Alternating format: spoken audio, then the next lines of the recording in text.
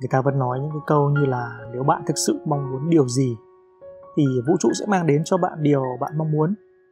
Nhưng với tôi điều đó hoàn toàn không đúng, nhất là với trường hợp của mình. Tôi mong muốn không ít, mặc dù biết chỉ là muốn, thì vũ trụ có thể mang đến cho tôi những thứ mà tôi mong muốn thôi chứ không phải là mang đến cho tôi thứ đó. Ví dụ như là tôi à, mong có thật nhiều tiền đi. Nhưng mà có cái từ muốn từ muốn ở trong đó vũ trụ chỉ mang đến cho tôi thêm những cái điều tôi muốn, chứ không mang lại cho tôi tiền. Nhưng tôi cũng không làm sao để có thể tin được là mình đã có sẵn sàng, tiềm năng và sự giàu có. Rồi, và chỉ cần hồi tưởng lại là được. Cái đó chính là một trong những cái bẫy tư duy hồi trẻ mà tôi không nhận ra. Để rồi có đọc thêm các thể loại như self help hoàn thiện bản thân sách ờ, luật hấp dẫn, đại loại thế thì kết quả mấy cuốn sách đó mang lại cho tôi rất là ít đã đến lúc tôi tìm đến cho mình những cái chi tiết cụ thể hơn, cái mà nó giúp tôi lôi ra được nhiều thứ hơn hiện hữu cho cuộc sống thực của tôi. Và phải mất khá là lâu, thời gian để có thể ngộ ra được ít nhiều. Vậy những cái định nghĩa về thành công đối với tôi nó không bất biến. Như mọi người nghĩ và không có giá trị xét về một hoàn cảnh cụ thể nào đó trong cuộc sống. Không thể lấy niềm tin thành công để chi trả cho một hóa đơn được một người chia sẻ họ nhẹ nhàng không mang tới tiền bạc và vẫn sống ung dung thì đó là họ, không phải là tôi. Khi tôi nhìn vào hoàn cảnh, tính cách, thói quen và con người hiện tại của tôi thì tôi và họ khác nhau hoàn toàn. Tôi áp dụng một cách cứng nhắc những gì học và đọc được vào đời sống để tốt hơn, khác biệt hơn nhưng chưa đủ thường là kết quả không mang lại cho mình là bao. Đã đến lúc tôi tìm cho mình một con đường đúng cho riêng mình, một cái linh nghiệm thực sự mà tôi có thể không thể tưởng tượng được trước đó và đó cũng chính là cái chủ đề tôi muốn chia sẻ trong tập podcast ngày hôm nay. Và chào mừng bạn đã ghé thăm podcast của An nơi chia sẻ những cái góc nhìn những cái trải nghiệm về cuộc sống mà mình đã trải qua một cách chân thật nhất. Cảm ơn bạn đã dành thời gian lắng nghe podcast này. Tôi uh, có mặt như ngày hôm nay và trở thành người như ngày hôm nay một phần là tạo nên những cái gì mà tôi viết ra. Như đoạn vừa nãy tôi có nói rằng là mình muốn tìm một cái gì đó chi tiết cụ thể hơn để nó linh nghiệm và nó có kết quả nhiều hơn là khi mình đọc một cuốn sách self help thế cảm hứng tôi lấy từ đâu? Ai cũng muốn có rất nhiều cảm hứng đúng không? Và có thêm nhiều ý tưởng cho cuộc sống của mình. Tôi có một cái thói quen là buổi sáng ngồi bên một ly cà phê và hay suy nghĩ lung tung hay là hồi tưởng hay là à, và đôi khi trong những cái buổi cà phê một hai tiếng đồng hồ đó có rất nhiều cái cảm hứng và ý tưởng của mình. Mỗi một người thì đều sẽ có những cái mạch cảm hứng của mình xuất hiện bất cứ lúc nào trong một ngày. Và tất nhiên là nó sẽ không xuất hiện thường xuyên, nhưng đối với tôi thì cái cảm hứng nó thường đến nhất là vào buổi sáng, và đặc biệt là buổi sáng bên một ly cà phê và có một không gian lý tưởng để mình có thể hồ hồi tưởng tưởng tượng ra những cái cảm hứng cho cuộc sống của mình. Và từ trước đến nay thì ờ, tôi nghĩ ra rất nhiều cái trong đầu nhưng mà thực ra thì thực hiện được nó không đáng là bao hầu như là nó không trở thành thực tế. Và những cái cái mà tôi viết ra thì tự lại lại trở lại trong cái thời điểm hiện tại. Hành trình của tôi thì nó cũng là lên kế hoạch biết bao nhiêu lần rồi trải nghiệm thử. Và những cái mà mình lên kế hoạch thì thường là nó um, thực hiện rất là ít nhưng mà thực ra thì tôi tôi mới nhận ra rằng là khi những cái mà mình viết xuống dưới cái cuốn sổ của mình, trong những cái buổi sáng cà phê đó, thì thực sự là nó đã thực sự giúp cho tôi hành động. Chứ không như những cái mà tôi ờ, nghĩ trong đầu rồi cảm hứng chốc lát rồi nó tan biến đi mất và hầu như mình không có thực hiện cái điều đó. Và mỗi một lần có cảm hứng và viết ra giấy tôi càng ngày càng đào sâu và hiểu bản thân mình hơn. Và mỗi một lúc thì mình càng vẽ ra được cái cuộc sống một cách chi tiết hơn nhất.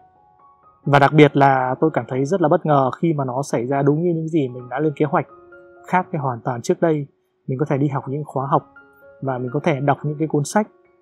Và mình thậm chí cũng có thể vẽ ra, nhưng nó hoàn toàn không phải là thực sự là mình. Thế cho nên là những cái đó nó chưa hoàn toàn đến giống như cái hôm nay tôi được trải nghiệm. Nhân đây thì mình cũng muốn ờ, mở lòng chia sẻ cho các bạn về cái hành trình của mình. Tại sao tại sao những cái tôi viết xuống nó lại trở thành hiện thực cho cuộc sống của mình? Thế rồi, có đi như những gì mình đã sắp đặt hay không? Chắc chắn là không rồi, nhất là đối với tôi. Đó là mặt về kết quả nhưng mà kiểu gì thì kiểu trong vài năm thì nó cũng sẽ trở lại và nó đang quay trở lại nhiều hơn những cái kế hoạch mà tôi viết ra.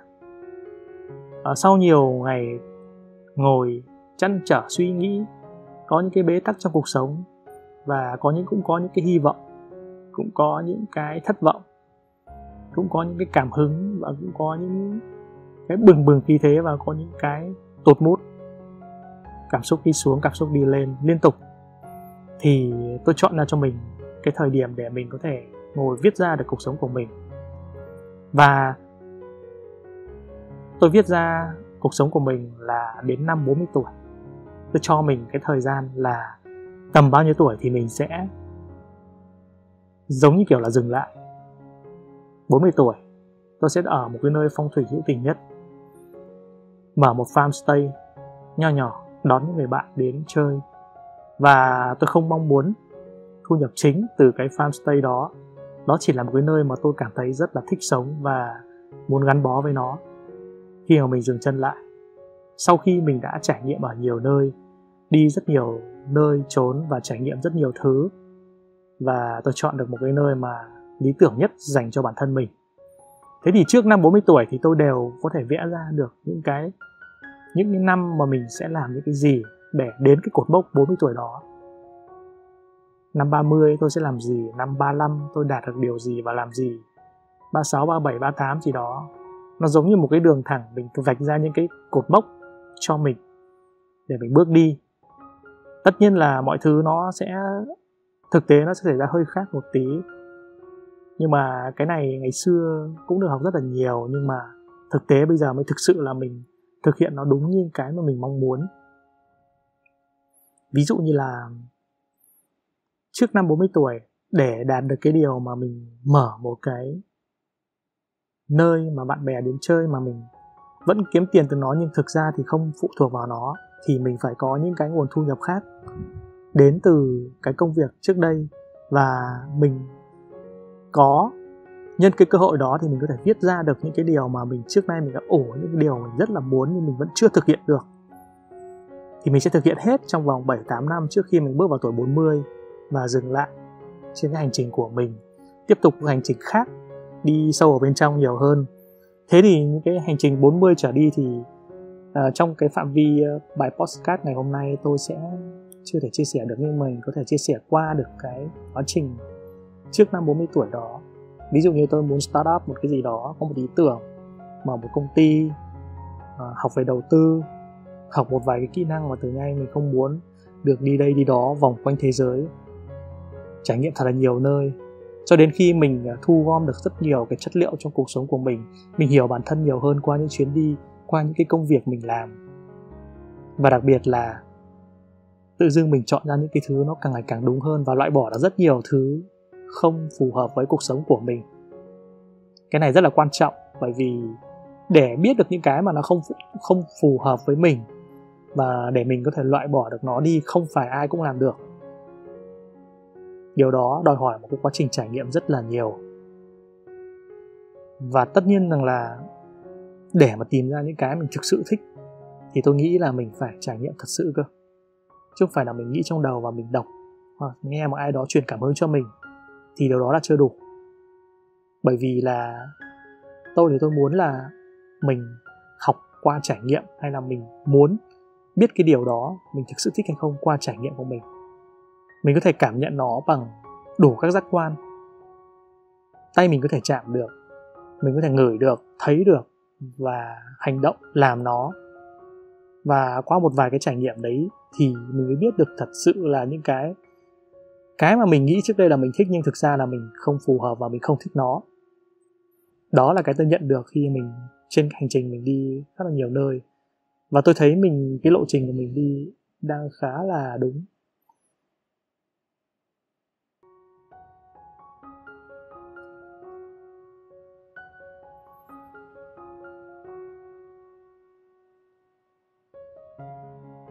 Tôi thì à, thích rất là về vườn.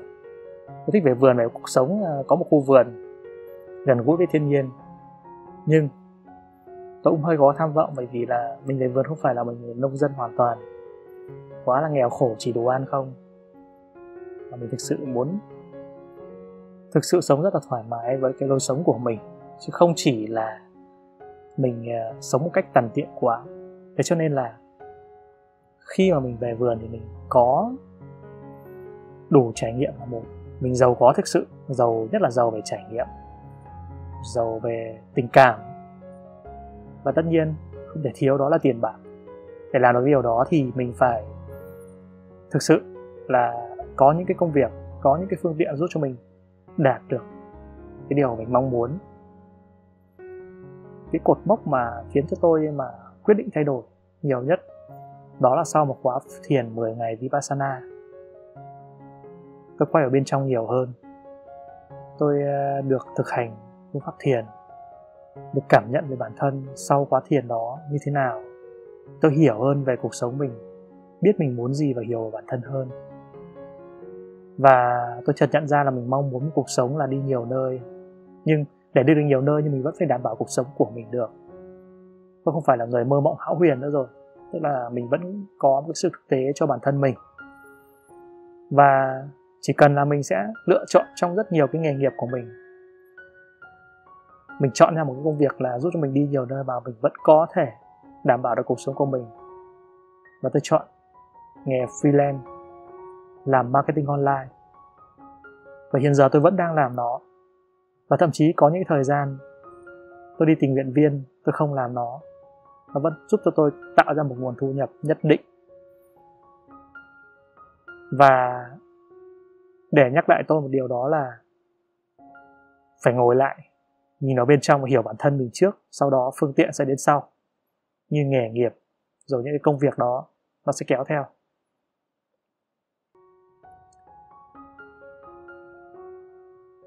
Có những cái nó vẫn quay lại và những cái không quay trở lại. Đó là tại sao? Bởi vì kể cả tôi có nói rằng là tôi ngồi, tôi viết, tôi hiểu bản thân hơn, nhưng thật ra thì những cái thứ tôi viết, nó không hoàn toàn là những cái thứ thực sự bản thân mình muốn 100% được. Điều đó rất là khó.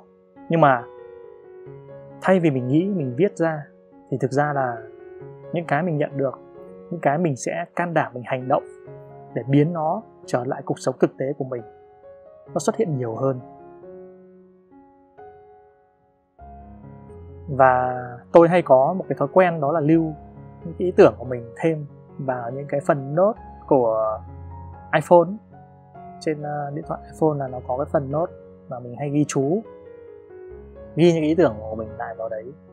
Có những lúc uh, theo một vài năm tôi quay lại tôi nhìn lại những cái ghi chú của mình trong đó. Tôi thực sự không thực hiện nó. Nhưng mà đùng một cái có những cái nó đi theo đúng cái hướng đó. Ví dụ như là trước đây tôi rất là muốn làm youtube đi kiếm tiền từ youtube. Đó là một cái trong cái lĩnh vực về kiếm tiền online để giúp cho mình đi nhiều nơi mà vẫn có thu nhập đó. Thì tôi đã từng làm nó thật nhưng mà cảm thấy không phù hợp thấy khó quá tôi bỏ. Sau đó tôi làm thêm một vài lĩnh vực khác thực tế hơn. Uh, offline cũng có online cũng có. Nhưng sau một vài năm tôi làm à, tiếp thị liên kết chẳng hạn, thì tôi lại dùng chính cái kênh youtube đó. Tôi xây dựng nó vài năm trước rồi để làm kênh marketing cho sản phẩm tiếp thị liên kết và nó lại hiệu quả. Rồi dần dần cái kênh đó nó cũng sẽ dần dần phát triển lên và tôi lại sẽ dùng nó quay trở lại làm youtube. Thế cho nên là, tôi thấy nó không có thứ tự nào là đúng cả. Làm cái gì trước, cái gì sau, nhưng mà viết hết ra hết rồi mình làm cái gì, chọn một cái gì đó mình làm trước. Sau đó thì tất cả những cái nó linh kết hợp với nhau thì nó lại bổ trợ cho nhau. Nghề dạy nghề mà. Đôi khi mình có thể bước ra mình làm một cái nghề mà mình không nghĩ tới sau này. Và điều đó hoàn toàn nó định hình và tôi hiểu được cái điều đó. Và mình sẽ càng trải nghiệm nhiều hơn.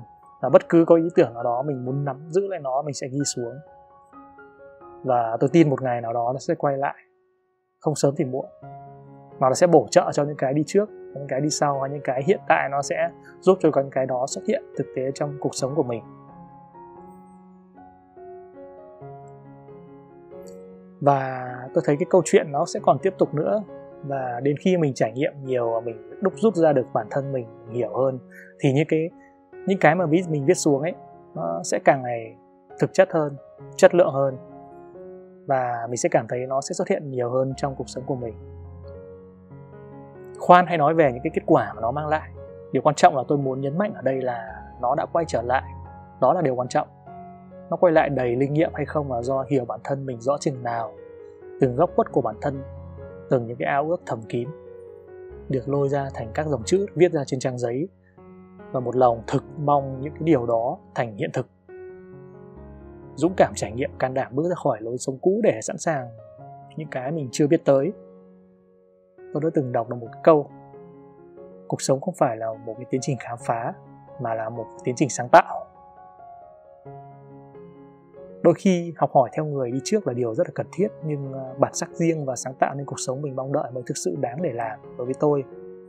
Tôi luôn nghĩ ai ai cũng được trao cho những cái nguyên liệu và bản thân có những cái nguyên liệu ngang như nhau rồi nhưng mà tại sao lại chúng ta lại khác biệt nhau đến như thế? Đó cũng là củng cố thêm cho tôi cái niềm tin về những cái câu nói trên. Đó là mình đang trên tiến trình sáng tạo những cuộc sống của mình mong muốn. Và với những cái tính cách ừ, can đảm, gan bì, cứng đầu làm theo cái điều mình mong mỏi. Đôi khi có chất lọc, có hồi tưởng và luôn tỉnh táo nhận ra mình đang sao chép hay đang sáng tạo ra chất riêng của mình hay không, tạo ra bản sắc riêng cho bản thân của mình lúc đó mình thấy tự dưng cuộc sống của mình thú vị hơn rất là nhiều.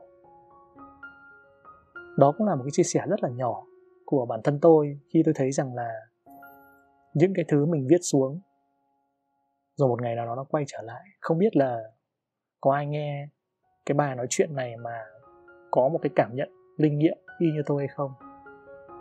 Chúng ta hãy cùng viết xuống. Và chia sẻ của tôi ngắn gọn như thế này thôi và sẽ còn những cái trải nghiệm thú vị khác mà tôi đã từng trải qua. Sẽ chia sẻ cho các bạn trong những cái tập podcast tiếp theo. Cảm ơn bạn đã lắng nghe tới đây. Chúc các bạn một ngày vui vẻ.